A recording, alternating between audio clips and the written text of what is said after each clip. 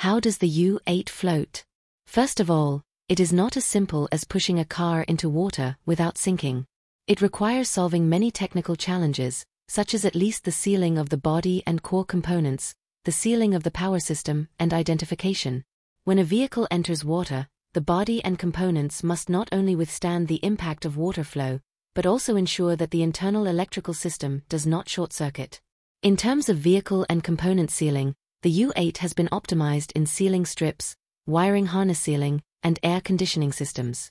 For example, the cross-sectional structure of the sealing strip has been redesigned to improve the sealing effect when the water level rises and the pressure increases. In addition, 161 parts related to the U8 and waterproofing meet IP67 waterproofing, and the core components meet IP68 waterproofing.